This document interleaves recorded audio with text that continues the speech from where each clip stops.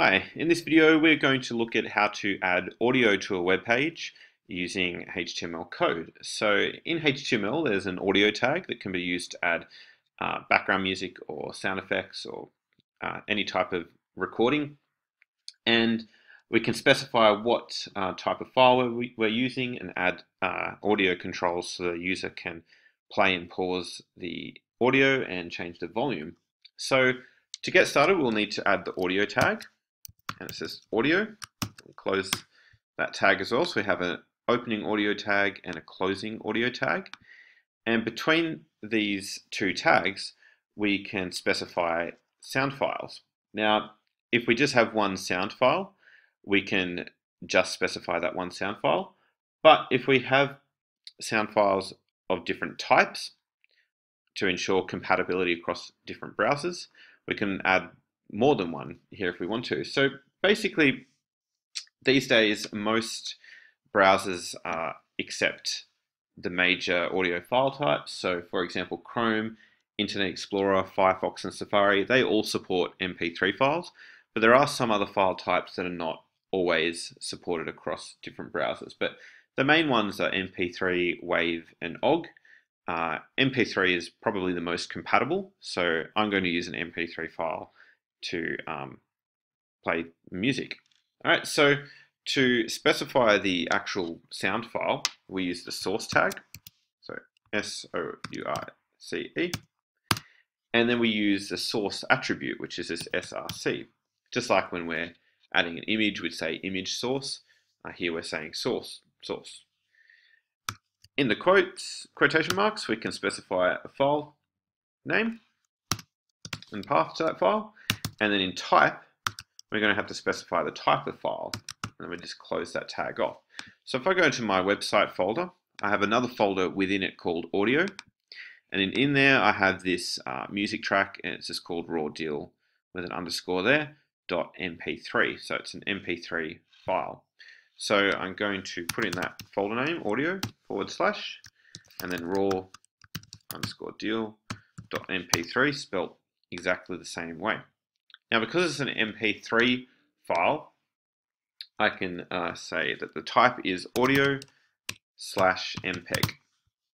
Okay, that's what you'd specify if it's an MP3 file. Now, if I only have one file here, just the MP3, but if I wanted to uh, make sure that I had other file types uh, ready to play in case I have a user that's using an old version of a browser that doesn't support MP3 uh, or a different browser that doesn't support MP3, then I could have some other backup files in that folder and I could specify them here. So let's say I have an OGG file, so .ogg, I would just change the type to audio slash OGG and if it was a WAV file, that would end in .wav and I'd change the type to, to audio slash WAV. So basically what will happen is the browser will try and play this first file, but if for some reason the user is using an old browser a browser that's not compatible with MP3 files,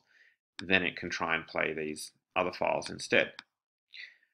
I'll delete those two lines of code because I don't actually have those other files there. But another thing that you can also do is just add some text within the audio tags that will display in case the audio doesn't load.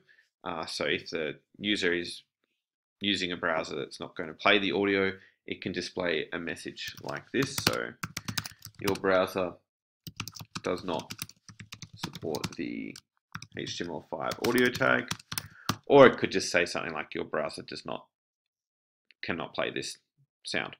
Okay, so that's uh, optional and it will just display to the user to tell them why they can't hear any music. Now, depending on what browser you're using, this may just be enough, but a lot of browsers these days don't allow music or audio to automatically play in the background without the user choosing whether they'd like to or not. So what we'll need to do is add the controls tag here sorry, we just add controls to the audio tag. And now if we go to uh, the home page, this file that I'm working on, index.html, and open that up, we can see here that we've got audio control. So we've got a play button, we can see the length of the track, we can uh, uh, move forward and backwards uh, throughout the track, and we can also change the volume. So we've got different options there. If I remove the controls there from the audio tag, we don't see that, and uh, the sound won't automatically play. So what I'll do is add controls. We can add autoplay,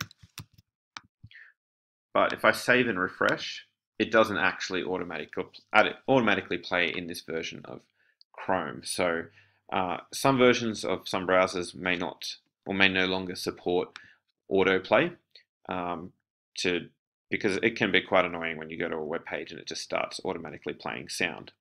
So uh, these tags here, we can add controls, we can add autoplay, and we can also add loop if we want the track to loop over when it's finished. I'm just going to add controls for now. save that. Go back and refresh the page. Got the controls here, and now I can click play to play the music.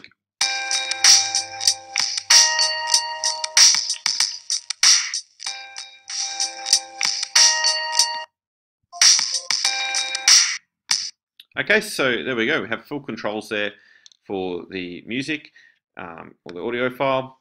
And if I wanted to, I could add autoplay or loop. Um, but just remember that autoplay won't uh, necessarily work for all users with modern browsers that, um, don't, that block that basically. Anyway, that's it for this video. That's how to add audio to a web page. Thanks for watching, and we'll see you in the next video uh, where we'll look at how to add videos to a web page.